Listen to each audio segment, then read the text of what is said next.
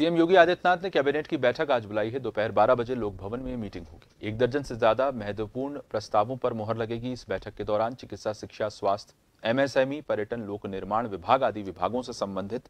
प्रस्ताव पास होंगे